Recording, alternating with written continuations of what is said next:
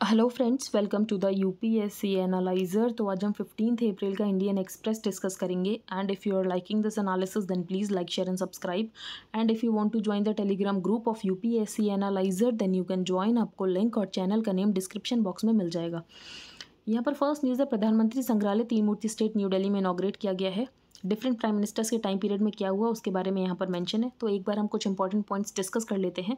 For example during the period of Atal Bihari Vajpayee ji यहाँ पर Pokhran test हुए।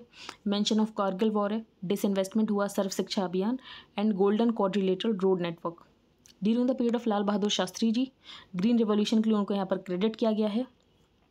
इसके अलावा इनके ही टाइम पीरियड में हमें लैंग्वेज एजुटेशन देखने को मिला, क्योंकि उन्नीस सौ पैंसठ में गवर्नमेंट का एक सर्कुलर था। उस सर्कुलर में ऐसा लिखा था कि कोई भी ऑफिशियल कम्युनिकेशन अब यहाँ पर हिंदी लैंग्वेज में होगी, जिसकी वजह से यहाँ पर हमें लैंग्वेज एजुटेशन देखने को मिला। During the period of Lal Bahadur Shastri ही हमें ताशकंद एग्रीमेंट देखने को मिला था और उनका फ़ेमस स्लोगन जय जवान, जय किसान। During the period of Indira Gandhi abolition हुआ प्रिवी पर्ट्स का नेशनलाइजेशन हुआ बैंक्स का, Nathu La battle Pokhran one nuclear test और इसके अलावा कांग्रेस में स्प्लिट हुई दैट इज़ नॉट इंपॉर्टेंट और इमरजेंसी का भी यहाँ पर डिटेल डिस्क्रिप्शन में मेंशन है कि इमरजेंसी भी लगाई गई थी during the period of Indira Gandhi. During the tenure of Rajiv Gandhi दो इंपॉर्टेंट लेजिस्लेशन लाए गए। पहला लेजिस्लेशन ये कि वोटिंग एज को रिड्यूस करके इक्कीस से अट्ठारह साल कर दिया गया। इसके अलावा एंटी डिफेक्शन लॉ भी during the tenure of Rajiv Gandhi ही आया था। राजीव गांधी ने साइंस और टेक्नोलॉजी का यूज़ किया to improve the living standards of the poor और यहाँ पर प्रोटेक्टिव लाइसेंसिंग से हटकर हम यहाँ पर मूव करने लग गए टुवर्ड्स ग्रेजुअल प्राइवेटाइजेशन तो यहाँ पर प्राइवेटाइजेशन शुरू हो चुका था during the tenure of Rajiv Gandhi during the period of Manmohan Singh Indo US civil nuclear deal हुई, जो कि बहुत ज़्यादा इंपॉर्टेंट है, आधार इनिशिएटिव हुआ setting up of you and policy of special economic zones by Manmohan Singh second news हम discuss करेंगे monsoon will be normal this year IMD forecast तो आईएमडी ने यही फोकास्ट किया कि मानसून इस साल नॉर्मल रहेगा। इंडिया में अभी भी जो 78 परसेंट कंट्री का ग्रॉस क्रॉप एरिया है, वो रेन फेड है। इसका मतलब अभी भी हम बहुत ज़्यादा मानसून डिपेंडेंट हैं फॉर आर एग्रीकल्चर अब कैसे पता चलता है कि मानसून इस साल रेन जो है, वो नॉर्मल क्यों है? तो यहाँ पर निकाला जाता है long period average of last fifty years तो long period average is defined as the average of the last fifty years तो इससे पहले ये जो लास्ट फिफ्टी ईयर्स थे, वो कंसिडर किए जाते थे 1961 से लेकर 2011 तक. अब यहाँ पर कंसिडर किया जा रहा है 1971 से लेकर 2020 तक. तो अगर यहाँ पर लॉन्ग पीरियड एवरेज का 96 टू 104 परसेंट अगर रेनफॉल रहती है तो उसको यहाँ पर नॉर्मल कंसिडर किया जाता है। तो the seasonal rainfall is consider normal when it is 96 to 104 percent of the L P A long period average अब हम आगे चलते हैं। यहाँ पर त्रिनकोमली ऑयल टैंक फॉर्म की बात की गई है तो इंडिया और श्रीलंका के साथ कोलैबोरेट करके इंडिया यहाँ पर डेवलप करेगा त्रिनकोमली ऑयल टैंक फॉर्म लेकिन इसमें यही बताया गया है कि Trincomalee oil tank farm develop करने में बहुत ज़्यादा टाइम लग सकता है क्योंकि वहाँ पर बहुत ज़्यादा ट्रीज़ आ चुके हैं। इसके अलावा वहाँ पर स्पीशीज़ रहती हैं। तो ऐसे में श्रीलंकन गवर्नमेंट की परमिशन की ज़रूरत है। लेकिन श्रीलंका भी इकोनॉमिक क्राइसिस से जूझ रहा है। उसके बाद यहाँ पर श्रीलंका की क्राइसिस पॉलिटिकल क्राइसिस में भी तब्दील हो चुकी है। श्रीलंका भी आईएमएफ के पास जाएगा बेल आउट के लिए। तो बेसिकली यहाँ पर सारे कामों में टाइम लगने वाला है। तो this is the deal at fifty acres of dense jungle and a strategic natural harbour तो इसीलिए अगर ट्रीज़ को कट करना है तो यहाँ पर श्रीलंकन गवर्नमेंट की परमिशन की ज़रूरत पड़ेगी। लेकिन श्रीलंका अभी यहाँ पर इकोनॉमिक क्राइसिस से गो थ्रू कर रहा है तो on April twelve Sri Lankan official announce that it was temporarily suspending repayment of external debt it is now seeking a bail out from the IMF तो यहाँ पर ये लोग आईएमएफ से बेल आउट लेंगे तो ऐसे में कुछ टाइम लग सकता है। अब ये क्यों बनाया जा रहा है त्रिनकोमली? तो बेसिकली तीन मेन रीजन्स है। पहला जो रीज़न है, वो ये है कि यहाँ पर पेट्रोलियम रिजर्व्स रखे जाएँगे supply of petrol and diesel across the country और यहाँ पर एक रीज़न ये है कि यहाँ पर बंकरिंग फैसिलिटीज़ डेवलप की जाएगी। तो tanks are being refurbished for three commercial activities supply of petrol and diesel across the country to store petroleum products and to offer bunkering facilities ये जो ऑयल टैंक फॉर्म है, ये 1932 में British ने बनाया था और ब्रिटिश इसको यूज़ करते थे। तो 1932 British built storage located next to the harbour was use by the allies during the Second World War अगर हम त्रिनकुमारी ऑयल टैंक फार्म की जो हमें डील मिली है, ये हमारे लिए बहुत ही बेनिफिशियल होने वाली है, क्योंकि वहाँ पर एक हार्बर है China Bay harbour and that is set to be the finest natural harbour in Asia तो agreement gives India a strategic footprint on Sri Lanka's eastern coast with access to the China Bay harbour set to the finest natural harbour in Asia तो I hope आपको news clear हो गई हो। अब हम आगे चलते हैं। यहाँ पर कोई भी इंपॉर्टेंट न्यूज़ नहीं है। यहाँ पर भी कोई इंपॉर्टेंट न्यूज़ नहीं है। ये हम डिस्कस करेंगे कॉलिंग आउट हेट तो हेट स्पीच को टैकल करने के लिए हमारे पास क्या प्रोविजंस उसके बारे में यहाँ पर मैंशन है। Is the state powerless no state is not powerless state के पास यहाँ पर बहुत सारे प्रोविज़न है जिसके अकॉर्डिंग यहाँ पर हेट स्पीच को टैकल किया जा सकता है।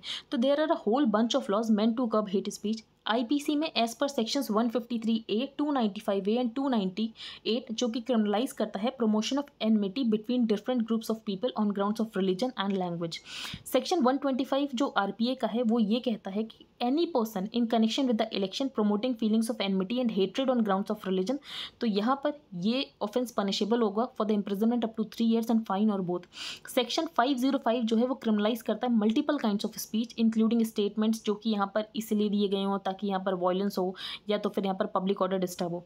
तो बहुत सारे प्रोविज़न है जो कि यहाँ पर हेट स्पीच को डील करने के लिए हैं। लॉ कमीशन ने अपनी टू रिपोर्ट में बात की गई थी कि हमें न्यू प्रोविजंस इंट्रोड्यूस करने चाहिए within the penal code जो कि यहाँ पर स्पेसिफिकली पनिश करें for the incitement to violence लेकिन ऑथर का ये कहना, हमें नए प्रोविजंस की ज़रूरत नहीं, हमारे पास प्रोविजंस हैं, हमें ज़रूरत है हेट स्पीच को टैकल करने के लिए तो वो है पॉलिटिकल विल की. तो it's the lack of political will blatant inefficiency and bias of the administration and shocking apathy of the judiciary जिसकी वजह से जो हमारी कॉन्स्टिट्यूशन की सेकुलर स्प्रिट है, वो किल हो रही है. Another watch dog should have been the media अब यहाँ पर जो डिसरप्टिव फ्रिंज एलिमेंट्स थे तो वो अभी तक फ्रिंज थे, लेकिन अब उनको मीडिया की वजह से वो मेन स्ट्रीम में आ रहे हैं। तो हेट स्पीच को यहाँ पर मेन स्ट्रीम में लाया जा रहा है। तो another watch dog should have been the media in recent years hate speech in all its varieties has acquired a systemic presence in the media and the internet तो फॉर एग्ज़ाम्पल किसी ने hate speech दी होती है तो यहाँ पर जो T V channels वो अपने डिबेट में बुलाते हैं, फिर उससे डिस्कशन करते हैं। तो बेसिकली आप यहाँ पर हेट स्पीच को मीडिया में लाकर मेन स्ट्रीम बना रहे हो तो यही ऑथर का कहना है। और जिसकी वजह से जो सिटीज़न है सिटीज़न को जो सेंसिटाइज किया जाना चाहिए तो बेसिकली यहाँ पर जो सिटीज़न है, उसका डी सेंसिटाइजिंग हो रहा है। तो by desensitizing the citizenry with a constant barrage of anti minority sentiments जो एथिकल और मॉरल बॉन्ड्स होने चाहिए, वो नहीं हो पा रहे हैं। तो this epidemic of mediatised hate speech is in fact a global phenomena तो ये आपको क्लियर हो गया हो। यहाँ पर फ्रांस के बारे में दो इंपॉर्टेंट पॉइंट्स मैंशन है, जो कि हम डिस्कस कर लेते हैं। तो अगर इमानुअल मैक्रॉन फिर से प्रेसिडेंट बनते हैं तो बेसिकली वो यहाँ पर Macron becomes the first French presidential incumbent since Jacques Chirac in 2002 to win a second term. तो ये एक हमें फैक्ट पता चल गया। दूसरी बात, फ्रांस में हमें येलो वेस्ट प्रोटेस्ट देखने को मिले थे। तो येलो वेस्ट प्रोटेस्ट किससे रिलेटेड है? फ्रांस से। क्यों येलो वेस्ट प्रोटेस्ट हुए थे फ्रांस में? तो टू अगेंस्ट हुआ था ये inequality price rise and tax breaks for the wealthy that rocked France begin in 2018 तो आपको ये पता होना चाहिए येलो वेस्ट प्रोटेस्ट किससे रिलेटेड है? फ्रांस से। अब हम आगे चलते हैं। यहाँ पर कोई इंपॉर्टेंट न्यूज़ नहीं है। हाँ यहाँ पर एक नाम मेंशन है, अरूज आफ्ताब का। ये फ़र्स्ट पाकिस्तानी वुमेन है, जिनको यहाँ पर ग्रैमी मिला था। तो अरूज आफ्ताब ऐसा सच इंपॉर्टेंट तो है नहीं। अब हम आगे चलते हैं वाइडनिंग डेटा डिवाइड इस आर्टिकल में सिर्फ़ ये बताया गया है कि गवर्नमेंट तो हमारे डेटा कलेक्ट करती रहती है, लेकिन गवर्नमेंट सिटीजन्स को किसी भी डेटा को प्रोवाइड नहीं करती है। फॉर एग्ज़ाम्पल यहाँ पर कंजम्पशन सर्वे दो हज़ार सत्रह अठारह का अब तक रिलीज़ नहीं हुआ। पीरियोडिक लेबर फोर्स सर्वे इतना ज़्यादा डिले करके रिलीज़ किया जाता है। वाटर एंड सैनिटेशन सर्वे इतना डिलेड के बाद यहाँ पर रिलीज़ हुआ। तो बेसिकली गवर्नमेंट हमारे डेटा कलेक्ट कर रही है, लेकिन गवर्नमेंट कोई भी हमें डेटा प्रोवाइड नहीं करती ताकि हम यहाँ पर गवर्नमेंट की अकाउंटेबिलिटी को इंश्योर ना कर सकें। तो data can improve people's life in various ways लेकिन उसके बाद भी जो यहाँ पर पॉलिटिकल फैक्टर्स है, वो कोशिश करते हैं कि लोगों तक डेटा ना पहुँच पाए। फॉर एग्ज़ाम्पल जो माइग्रेंट्स का डेटा उसको यूज़ किया जा सकता था यहाँ पर माइग्रेंट के लिए पॉलिसी बनाने के लिए, लेकिन ऐसा हमें कुछ होता हुआ दिखाई दे नहीं रहा है। तो amassing of data by the government तो गवर्नमेंट तो यहाँ पर हमारे डेटा कलेक्ट कर रही है, लेकिन गवर्नमेंट यहाँ पर डिफरेंट स्टेक होल्डर्स को वो डेटा नहीं प्रोवाइड कर रही है। अगर गवर्नमेंट यहाँ पर डेटा प्रोवाइड करेगी, तभी तो सिटीजन्स यहाँ पर इन्फॉर्म्ड हो पाएँगे। तो informed public discourse in any democracy is critical for accountable and transparent governance तो अगर लोग इन्फॉर्म्ड होंगे, तभी वो यहाँ पर गवर्नमेंट की अकाउंटेबिलिटी को इंश्योर कर सकते हैं। लेकिन उसके लिए सबसे इंपॉर्टेंट फैक्टर क्या है? लोगों के पास डेटा होना चाहिए। लेकिन अगर लोगों के पास डेटा ही नहीं है तो लोग यहाँ पर अकाउंटेबिलिटी इंश्योर करेंगे तो करेंगे कैसे? तो यही बात यहाँ पर बताई गई है। तो in short the government is sufficiently empowered to collect and use information about set citizen तो गवर्नमेंट तो हमारे डेटा कलेक्ट कर रही है। For example enormous amount of data collect किया गया during the period of pandemic Aarogya Setu app का use किया गया। इसके अलावा इम्यूनाइजेशन के ऊपर यहाँ पर डेटा कलेक्ट किया जा रहा है। अलॉन्ग विद ट्रेडिशनल इंस्ट्रूमेंट जैसे कि सेंसस में डेटा कलेक्ट किया जाता है सैंपल सर्वेज में डेटा कलेक्ट किया जाता है। वेरियस डिपार्टमेंट से यहाँ पर डेटा कलेक्ट किया जाता है, लेकिन यहाँ पर लोगों को कोई डेटा प्रोवाइड नहीं किया जाता है। तो increasing gap in accountability is stark in India the Indian state is fast acquiring the characteristics of a surveillance state जो कि डेटा तो कलेक्ट कर रहा है, लेकिन यहाँ पर डिस्ट्रीब्यूट नहीं कर रहा है लोगों में वो डेटा फिर यहाँ पर बताया गया कि वाटर और सैनिटेशन सर्वे का डेटा बहुत डिले करके रिलीज़ किया गया। पीरियोडिक लेबर फोर्स सर्वे का डेटा यहाँ पर डिले करके रिलीज़ किया गया। कंजम्पशन सर्वे दो हज़ार के डेटा तो अब तक रिलीज़ ही नहीं किया गया है। आगे हम चलते हैं Baba Saheb warning he was a nation builder with a difference जैसे कि गांधी नेहरू सुभाष चंद्र बोस, भगत सिंह। इन्होंने ब्रिटिश इंपीरियलिज्म के अगेंस्ट लड़ा। लेकिन यहाँ पर जो सबसे बड़ी लड़ाई थी बाबा साहब अंबेडकर जी की, वो ये थी कि कास्टिज्म और अनटचेबिलिटी से कैसे लड़ा जाए इन द हिंदू कम्युनिटी उनका सेंट्रल क्वेश्चन ये था कि इतने टाइम से अनटचेबिलिटी चल कैसे रही है? फिर उनको ये बात पता चली कि अनटचेबिलिटी और कास्टिज्म इसीलिए चल रहा है क्योंकि उसको रिलीजियस सेंटिटी प्रोवाइड कर दी गई है। तो following a deep study of the Hindu religious text he came to the conclusion that because of the religious sanctity provide to the casteism इसके अलावा इनकी एक बुक है द एनहिलेशन ऑफ़ कास्ट जो कि यहाँ पर बाबा साहब अंबेडकर जी की किताब है। बाबा साहब अंबेडकर जी बाद में यहाँ पर बुद्धिज्म में कन्वर्ट हो गए थे। Ambedkar work to embedded the objectives of liberty, equality and fraternity in the concept of dignity. अब ये आपको पता है कि यहाँ पर ड्राफ्टिंग कमेटी के मेंबर थे जिन्होंने यहाँ पर कॉन्स्टिट्यूशन को ड्राफ्ट किया है। सबसे इंपॉर्टेंट पॉइंट इन्होंने ये कहा था, एक वार्निंग दी थी इन्होंने। इनका वार्निंग ये था कि कभी भी हमें हीरो वर्शिप नहीं करनी, कि कोई भी लीडर है तो उसकी हीरो वर्शिप नहीं करनी, क्योंकि अगर आप हीरो वर्शिप करोगे तो धीरे धीरे आप क्या कर दोगे? आप डिक्टेटरशिप में तब्दील हो जाओगे। तो another warning was against the peculiar Indian habit of devotion और hero worship of leaders that is as bhakti as he emphasise bhakti religion में तो अच्छा है कि आपका साल्वेशन होता है साल्वेशन ऑफ़ द सोल होता है, लेकिन पॉलिटिक्स में अगर आप भक्ति कर तो बेसिकली आप यहाँ पर डिक्टेटरशिप की तरफ़ मूव कर रहे हो। तो it is quite possible for this new born democracy to retain its form but give place to dictatorship in fact इसीलिए अपोजिशन का मज़बूत होना बहुत ज़्यादा ज़रूरी होता है। अब यहाँ पर ऑथर का ये कहना है कि करंट रिजीम में हमें देखने को मिल रहा है कि कॉर्पोरेट पावर को बहुत ज़्यादा इफ़ेक्ट दिया जा रहा है। इनक्वालिटी लगातार बढ़ रही है कम्युनल हेट्रेड यहाँ पर फैलाने की कोशिश की जाती है।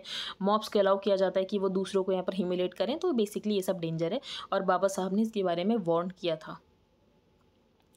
यहाँ पर एक टेंपल का मैंशन है चेनेकेशवा टेंपल जो कि बेलूर में है। और इसका एज ओल्ड ट्रेडिशन ये है कि चेरियोट फेस्टिवल से पहले, रथोत्सव से पहले यहाँ पर कुछ पैसेज को रिसाइट किया जाता है फ्रॉम द कुरान। तो ये आपको पता होना चाहिए, चेनेकेश्वर टेंपल कहाँ पर है? तो कर्नाटका में, बेलूर में। आगे हम चलते हैं। यहाँ पर मेंशन है आईडीबीआई के बैंक के बारे में। तो आईडीबीआई बैंक को कैटेगराइज किया गया है प्राइवेट सेक्टर बैंक में, लेकिन जो आईडीबीआई बैंक के यहाँ पर शेयर्स हैं, वो एलआईसी को दिए गए थे। तो 94.71 अभी भी एलआईसी और गवर्नमेंट का स्टेक ही है, लेकिन उसके बाद भी इसको प्राइवेट सेक्टर बैंक की तरह कैटेगराइज किया जाता है। तो IDBI bank is control by the government directly and indirectly public sector L I stake है बैंक में। जो टोटल प्रोमोटर होल्डिंग है, वो LIC और गवर्नमेंट की इंक्लूड करके नाइन्टी है। लेकिन उसके बाद भी यहाँ पर बैंक बैंक को according to the R categorise किया जाता जाता है as a private sector bank और इस पेज में कोई इंपॉर्टेंट न्यूज़ नहीं है। यहाँ पर फिनलैंड और स्वीडन का ये कहना है कि वो नेटो को ज्वाइन कर सकते हैं तो ऐसे में रशिया ने वॉन्ट किया कि हम न्यूक्लियर डिप्लॉयमेंट कर देंगे, अगर आप यहाँ पर नेटो को ज्वाइन करते हो। क्योंकि वैसे भी रशिया की जो आर्मी है, बहुत ज़्यादा स्ट्रेच है यूक्रेन में वॉर चल रहा है तो ऐसे में इतना ज़्यादा आर्मी डिप्लॉयमेंट तो रशिया नहीं कर सकता तो रशिया ने यहाँ पर क्लियर कर दिया कि वो यहाँ पर न्यूक्लियर डिप्लॉयमेंट करेंगे। तो one of Russian president Vladimir Putin closest allies warned NATO on Thursday that if Sweden and Finland join the US led military alliance then Russia would deploy nuclear weapons and hypersonic missiles in an exclave in the heart of Europe तो Finland तो यहाँ पर तेरह सौ kilometre का border share करता है और फिनलैंड और स्वीडन यहाँ पर दोनों ही कंसिडर कर रहे हैं कि ये नेटो को ज्वाइन कर लें। तो आई होप आपको आज का न्यूज़पेपर समझ आ गया हो। If you like the video then please like share and subscribe thank you and a nice day